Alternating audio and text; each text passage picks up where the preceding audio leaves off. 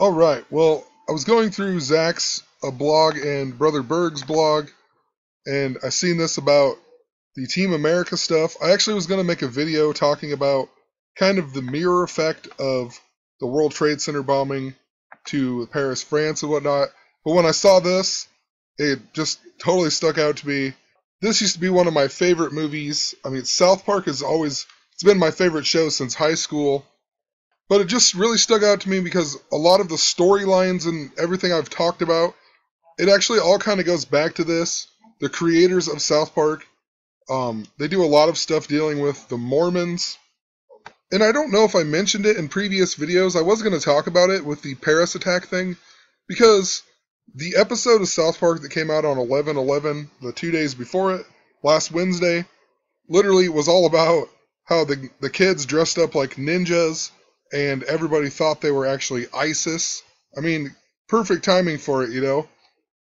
But basically, at the very end, they have Officer Barbrady who goes and whatever, and then, like, the secret agent guy talks to him right before the, the thing ends, and he says, Have you noticed a lot of changes? And Barbrady says, Yeah, and he says, You know, it's all planned or whatever.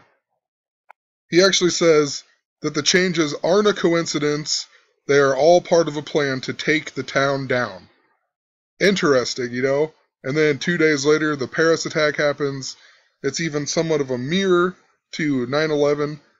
I still don't know what the whole point is, but he says, What do you know about the girl named Leslie? That was one of the things I've been trying to figure out. But um, I'll come back to all of this later on. Or actually, I'll just talk about it right now. So, um, tonight's episode will be the 265th episode of South Park on the Skull and Bones Day, three, 322nd day of the year. But it's the 265th. The 265th day is September 22nd. That's the day that Pope Francis came to the United States. It's also the day that Joseph Smith in the Mormon religion was able to take the golden plates we've talked a lot about how it ties into uh, Revelation and whatnot, but in the Mormon Bible, there are 239 chapters. This is the 239th year of the United States.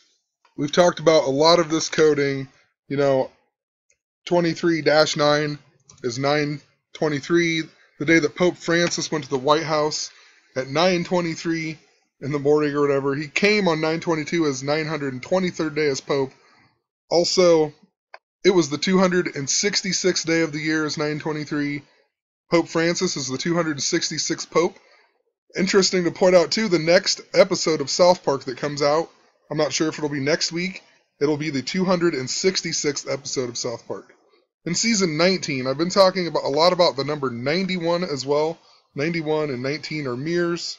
Also, how this movie, Team America, connects is, is at the very beginning scene, the terrorists are gonna they're in Paris, France, and they have the suitcase and they're gonna place a bomb or whatever. But then Team America comes in and they kill the terrorists, or some of them get away, but uh, they destroy Paris pretty much.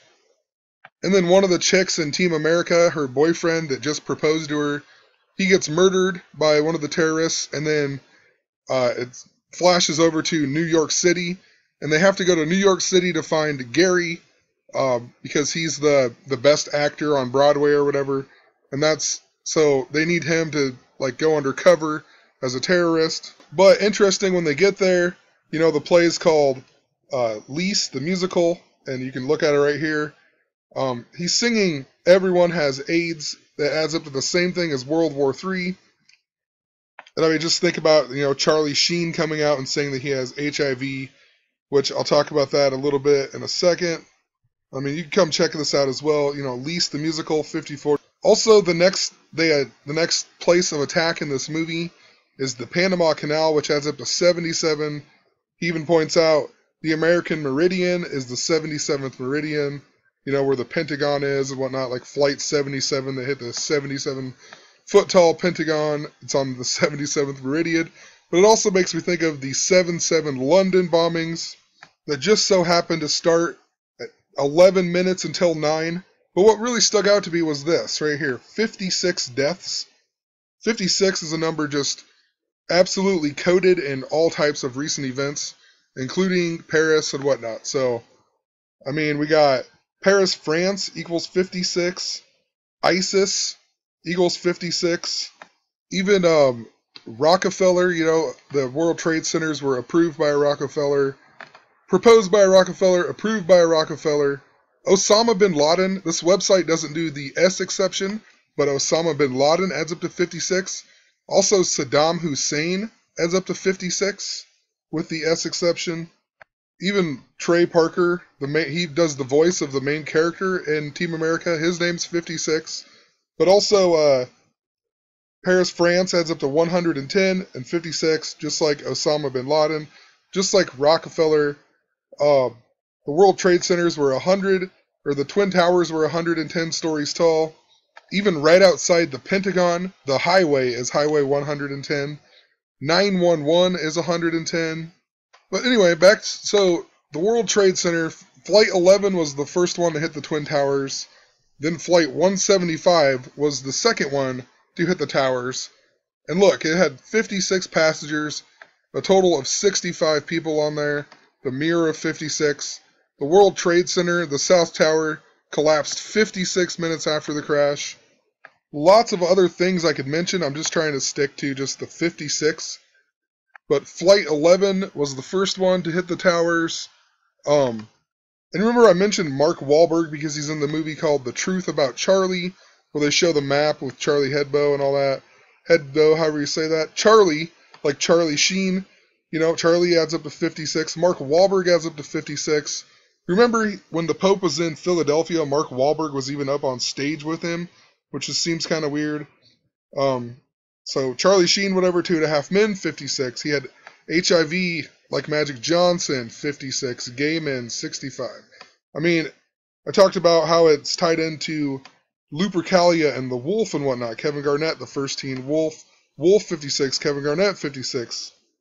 Interesting, too, with Charlie, the movie Peanuts just came out. You know, Charlie Brown. Ronda Rousey just lost their fight. Ronda Rousey, 56. Don Vito, who just died. Don Vito was even born in the year 56. We've talked about how it, it all deals with Revelation, it seems like. The, like I said, the end of the Book of Mormon, 239 chapters, 239 years of the United States. King James Bible adds up to 56. Interesting. Also, uh, the Knights Templar were wiped out on Friday the 13th, and that's like a theory of as to where the Friday the 13th um, people worrying about it comes from. But they were wiped out by Philip IV. That adds up to 56 of France. He even died at the age of 46. If you add up 56, write it out as a word, it adds up to 46. Also with uh, Charlie Sheen, you know, he had tiger's blood, and then so it's the joke is he had tiger's blood, now he has HIV. Blah blah blah. Tigers have HIV. And you just had the um, Missouri Tigers, the whole racial protest and whatnot. Then the coach even announced that he's resigning, and that's due to his cancer that he has. It all ties back into the Teen Wolf stuff because of Flip Saunders dying from cancer. The Minnesota Golden Gophers coach resigned as well this year um, because of he had cancer and then he, it caused epilepsy or whatever. And that's the whole joke of the Team America thing because the song is Everyone Has AIDS. Funny though, I've talked about um, BYU a lot. It, clear back to I think it's I think I started talking about it on nine one even. Um, but anyway, BYU is the Mormon college, and when Missouri did the whole protest thing, if they didn't play, they wouldn't have played BYU. BYU was the team that they played last week. And I've talked about the Wolf with Michigan and whatnot, the Lupercalia stuff. Michigan, the only team teams that they have lost to is Michigan State and also Utah, the Mormon team. And then when I started talking about BYU, how they've coded it in here, it was against the it was the Nebraska football game, the absolutely most rigged game, somehow magic or whatever.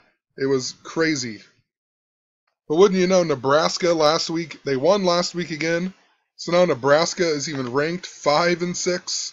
The 56, I told you it's coded to Lincoln, Nebraska, through the movie Teen Wolf and uh, Abraham Lincoln they're just they got a bunch of themes that they're doing and they're running them all together somehow. the guy from Herbie, Dean Jones, Herbie the Love Bug movie, he died on 9 1. Nebraska's mascot is Herbie.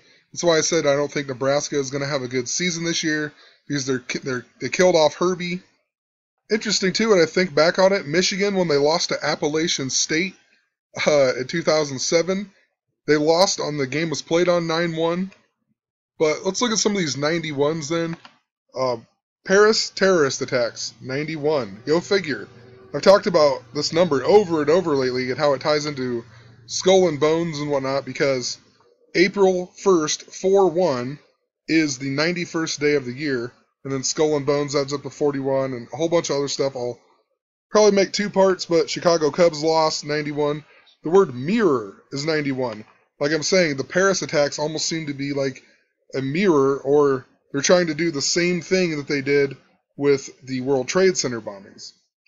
This these two guys were the Marine guys that were, or whatever they were, the military guys that were in the train attack or whatever in Paris this year, or France this year. If you put them na- their names together, 91. The one guy was even from Roseburg, Oregon. The Roseburg, Oregon shooting that happened with 91 days left until the end of the year. On Jimmy Carter's 91st birthday, he's 111 days younger than George Bush, the 41st president, Bush 41, who was also a Skull and Bones member, and everybody's beloved Jimmy Carter. James Carter adds up to 41, just like Skull and Bones. And speaking of Herbie, so Herbie is number 53, the car, but in this movie, Lindsay Lohan's brother is the one who drives the car for their NASCAR team or whatever at the very beginning. And then she ends up having to drive or whatnot. But he drives the car number 56 in the movie, and it's this guy from the movie Road Trip.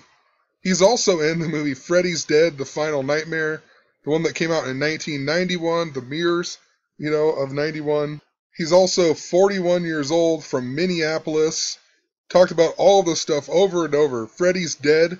Remember, uh, the movie Drop Dead Fred came out on the Mirror Day. This movie came out on September 13th, the 139, but I believe it's the 256th day of the year, and then on the day with 256 left is April 19th, I'm pretty sure. Yeah, 256 left. That's the day that the movie Drop Dead Fred came out. Freddie Gray died this year on April 19th. The he was injured or whatever on April 12th. That is the day that the Civil War began in the United States. And also, he died on April 19th, the day of the first death in the Civil War. Tons of stuff on that, though. Made tons of videos on it.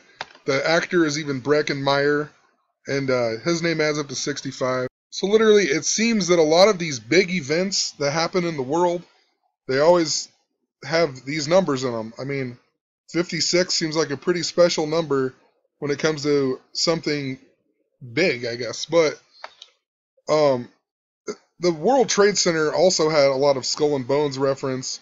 Like I said, there Skull and Bones is 41. Al Qaeda adds up to 41. Even Muslims adds up to 41. Airplanes adds up to 41. Um, this one is with the S exception, so that's why I couldn't put it in over there. Also, the date 9 plus 11 plus 20 plus 1 is literally adds up to 41. George Bush, John Kerry, Skull and Bones members. George Bush 41, also a Skull and Bones member. He's the guy who gave the speech about the NWO, or the New World Order, exactly 11 years on 9 11, before 9 11. His grandpa or his dad, Prescott Bush, was also a member of Skull and Bones. He was part of the group that stole Geronimo's uh, bones or whatever, his skull and bones. Geronimo Allison beat the Nebraska Cornhuskers this year. He caught the ball um, and won the game or whatever. Geronimo, or he played for Illinois. It's the Fighting a lion Illini. Fighting a lion Illini adds up to 91. He had 91 yards in the game, but he actually played for Iowa Western uh, previously before he played for Illinois, and Iowa Western is in Council Bluffs, Iowa, which adds up to 191. It's all about the Mormons, really, because Council Bluffs is the historic starting point of the Mormon Trail. It used to be called Kanesville. But uh, running out of time, I guess I'm just gonna make a part two.